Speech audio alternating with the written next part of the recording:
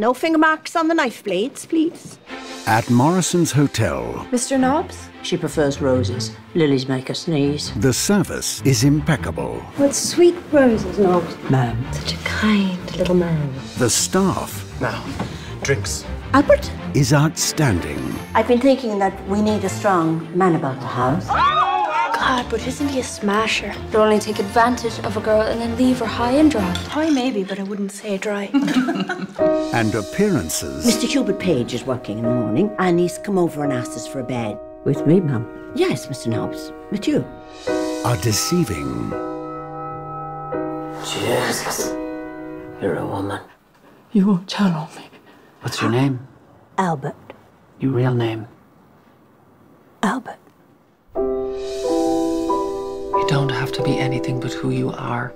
Look at how you've survived all these years. You've worked hard and you've saved your money. You've it all stashed under the mattresses at Mr. Nobbs.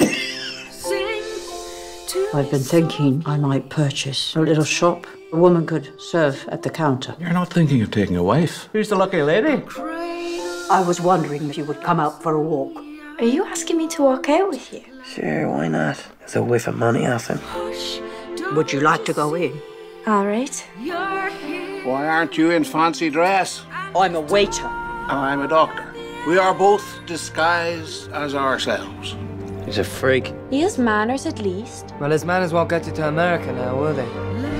We'll make a great success of our shop, and our wedding will be a great wonder. What kind of man would ask a girl to marry him without ever having kissed her?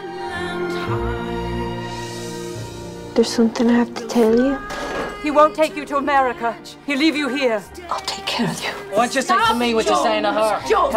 Maybe we'll find there the key to your dreams. So you just lay your head down, darling. I think you are the strangest man I've ever met. Sleep now.